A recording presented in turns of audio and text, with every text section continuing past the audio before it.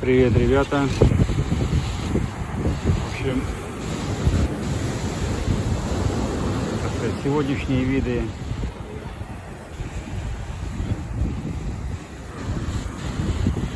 южного побережья Атлантики.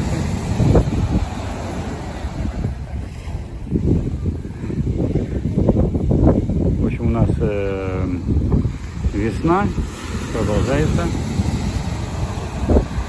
Ветер прохладный, хотя уже температура,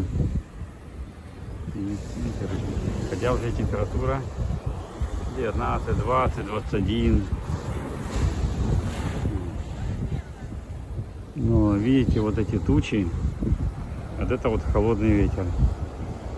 Он расползается с этой стороны, с севера. Не знаю, откуда он берется, этот холодный ветер. Ну, у нас он ощущается. Такая прохлада, как, э, как из кондиционера. Сейчас, видите, э, море широкое, это высокое, поднялось. Вот здесь все люди наверху, за камнями. Есть рыболовы, ловят рыбу с вот этого пирса. Это у нас называется эспигон. Посмотрите с этой стороны. Вообще не спуститься.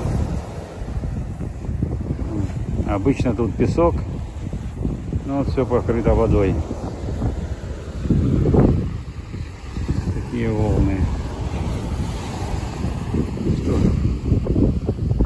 В Аргентине прошли пятницу и субботу праздники. Вот. И сейчас уже на выходные приехали много туристов сюда на побережье отдохнуть, ловить рыбку. Э, даже в некоторых дворах, там где они закрыты, ветра нет, это принимают солнечные ванны.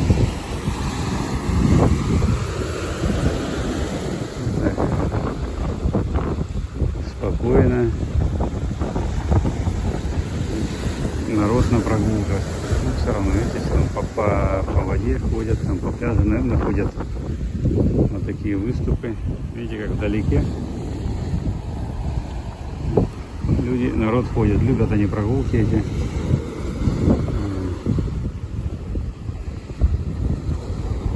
Да, еще октябрь.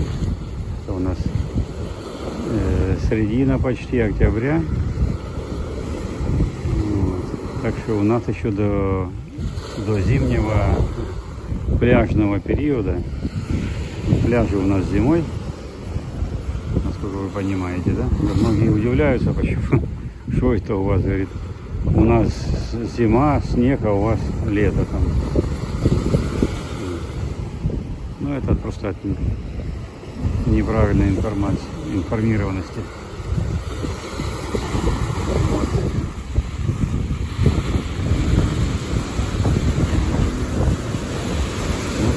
Вот такое сегодня у нас море, такая погодка. Вдалеке, как вы видите, Мардель Плата.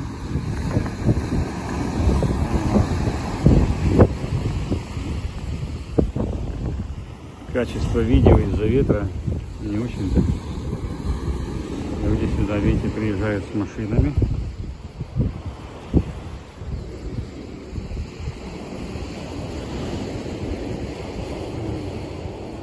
И там туда уходят, э, там лесной поселок. Э, в общем-то, домики среди деревьев, в лесу.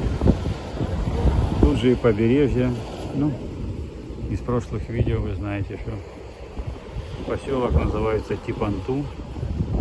Э, там с другой стороны поселка у нас трасса провинциальная 11 а здесь выход на пляже. Многие э, спрашивают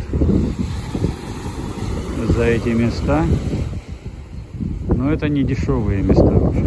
На пляже э, для и к тому же эти лоты, земельные участки, они до 1000 метров, то есть до 10 соток.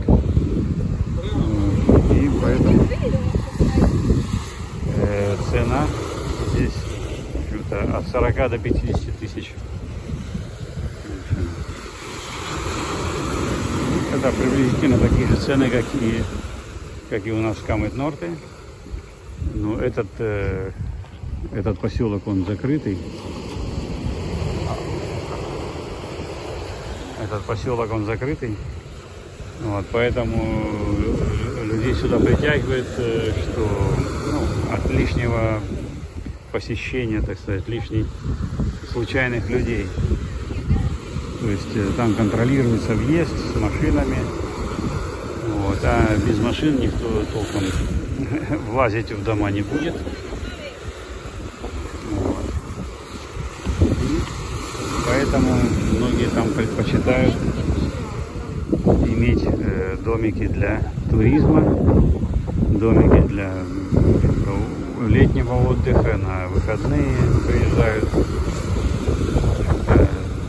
Из Буэнос-Айреса сюда подъехать это 4-5 часов. А кто с какой скоростью едет и какой поток машин в зависимости. Вот. Ну, так, что у нас там рыбак что-то тянет. Нет, ничего.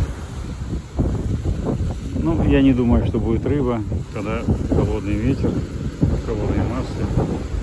Рыба не сильно дает. Там, где когда теплые массы и вода прогретая, тогда и рыбка здесь. Ну ладно, вот такие у нас сейчас выходные. Ну, очень много людей, видите, по, по, по берегу прогулки делают. А ну-ка сейчас еще раз глянем. Ой, тут ветер.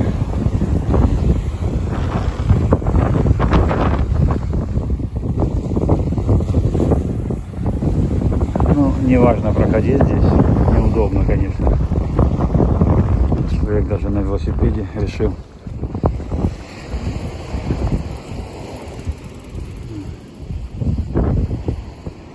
Ладно. Всем всего хорошего. Давайте, путешественники, готовьтесь, покидайте холодные места и готовьтесь к нам на лето. В летнюю пору, которая у нас зимой. Месяцы у нас для э, отдыха, то для туризма. Это декабрь, январь, февраль, март. Ну, такие более обильные наплыв. Всего доброго, пока-пока.